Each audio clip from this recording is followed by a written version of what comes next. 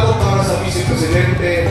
Ako lamang ang ginagawang sentro ang problema ng mataas na presyo ng pagkain, ng gutom, at mga programa para mabigyan ng buong suporta ang agrikultura, ang magsasaka at baging isda. Sama-sama na tayong tumaya para inutlog ang gobyernong tapat. Magtatagumpay tayo!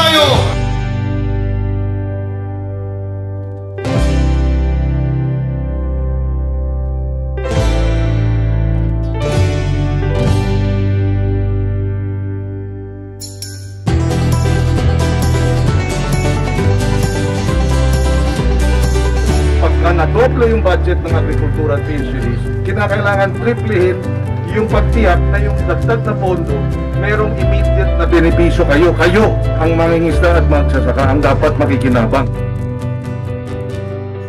yung gobyerno dapat ganito. Na kung sino yung pinaka nahihirapan ay kailangan mas tinutulungan. Hanggang kinakailangan kami, nandyan kami para sa inyo.